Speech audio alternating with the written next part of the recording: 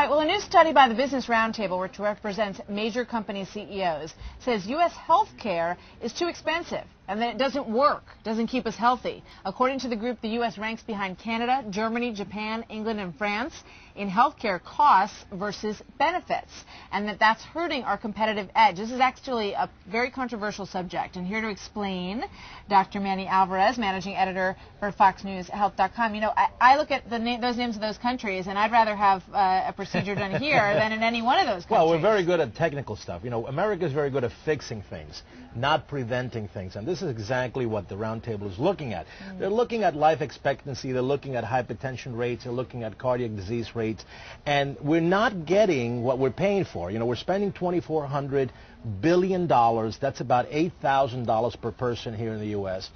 And this is something that we, doctors and healthcare systems have been talking about for about a year and a half before this whole healthcare reform came into place.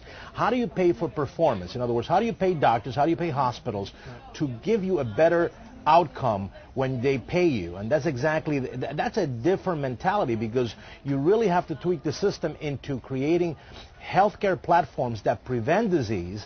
You also have to look at issues like fraud. You know, one of the, you know, the medical, the health medical system is very inefficient when it comes to saving dollars. There's a lot of fraud, there's a lot of mismanagement, there's a lot of wasted, mm-hmm. wasted spending, and that, of course, has increased the, the the amount of money that is spent in healthcare every year. But should medicine be performance-based? I guess that's the I, question. That is, that is exactly what every medical scientific community is saying nowadays. If you really want to make an impact in healthcare, you have to think about performance and outcomes rather than fixing a problem. We're very good at open heart surgery, brain surgery, kidney transplants, you name it. Yes, if you're sick with those mm -hmm. diseases, we could do them great for you. But can we actually prevent the diseases from ever happening and, you know, leading doctors into a new path, which is very different, right. uh, you know, very different for to us. To be compensated and rewarded based on how healthy you can keep your patients from day one. That is, is exactly. A, it's kind of like the teaching model, you know, you want to reward teachers for how well their students are doing. That is exactly very right and of, hopefully that you yeah. know will bring down the cost of health care. How many of those alcohol studies were, were negative again? 13, 13. 13. Oh my God, I'm looking for another one for you